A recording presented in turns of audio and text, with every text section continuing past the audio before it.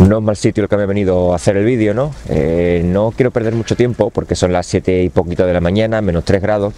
Roma está despertando, estoy dándome una vueltecita por aquí antes de irme al apartamento. He estado por, por Fontana de Trevi, Timpanteno, Granadilla Plastenabona. Eh, ya veis que está completamente vacío, nada que ver con la hora punta, nada que ver con el mediodía, por la tarde, que todos los monumentos se llenan merece mucho la pena madrugar cuando estás en, sitios así porque te encuentras monumentos como este vacíos para ti enteros para, hacer las fotos, para hacer lo que quieras. Así que voy a aprovechar para daros unos cuantos consejos sobre mm, viajes que no tienen que ver con la fotografía, pero que os pueden venir muy bien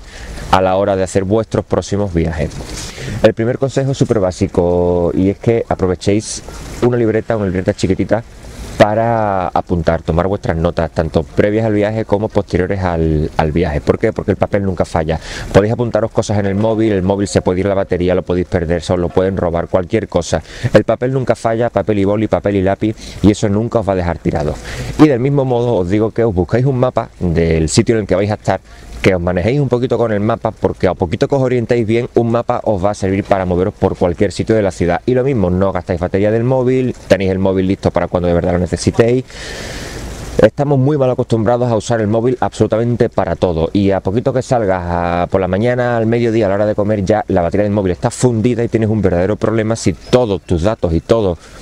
toda la información que necesitas está en el móvil metida. El papel nunca falla. Siguiente consejo, que tengáis eh, en un sitio seguro o en un cinturoncillo aparte tipo deportivo como estos que hay del Decathlon finito, que llevéis ahí vuestra documentación, que llevéis ahí eh, un poquito de dinero aparte, aparte del dinero que podéis llevar en la cartera, que la cartera la llevéis vacía simplemente con el dinero y si lleváis alguna tarjeta de, crédito, pues que igualmente la llevéis en ese cinturoncillo con, la documentación mm, pegado aquí al cinturón del pantalón o en un bolsillo interior de la chaqueta, de manera que si os roban, si os pasa cualquier cosa, a menos que os desvalijen por completo, siempre vais a tener vuestra documentación y un poquito de dinero por si acaso. Y en esa misma cinturilla, si podéis meter con papel siquiera, no hace falta tener nada, nada especial.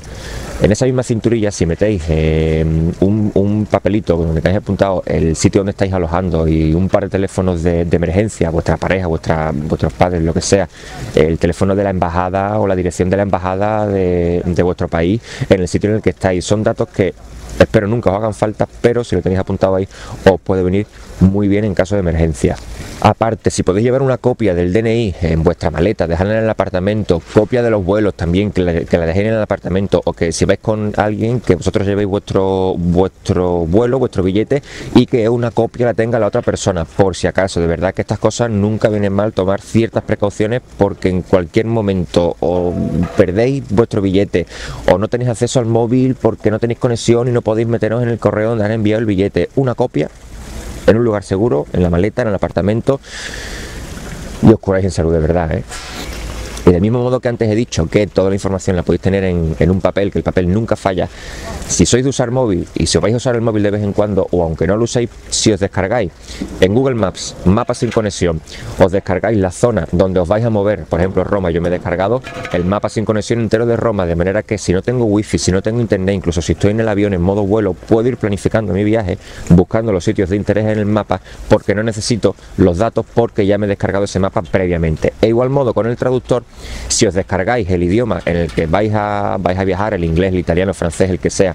pues tenéis ahí un idioma entero descargado para buscar cualquier palabra cuando vais a comer, palabras raras, palabras que no sepáis, señalización. Es útil y os puede ahorrar mucho tiempo y muchos datos de memoria cuando vais a estar dando vueltas por ahí por la ciudad. De verdad que hace un frío que se me cae hasta el moquillo, ¿eh? Eh, lo dicho, que son consejos un poco basados en el sentido común. Eh, por suerte son consejos que no están basados en mi experiencia, en el sentido de que nunca me han robado, nunca he tenido ningún problema, por suerte, de verdad, ya os digo, espero que tampoco os pase nunca a vosotros porque que, os roben o, que tengáis algún problema fuera de,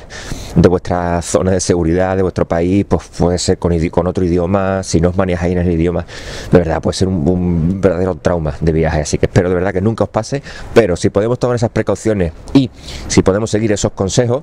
pues oye, mejor que mejor. Así que nada, ya me diréis si el consejo, si os consejo, los consejos que os he dado. Os sirven, si, si los veis de interés y sobre todo si tenéis algún otro consejo alguna otra sugerencia que queráis darme, pues oye, yo encantado de tomar nota.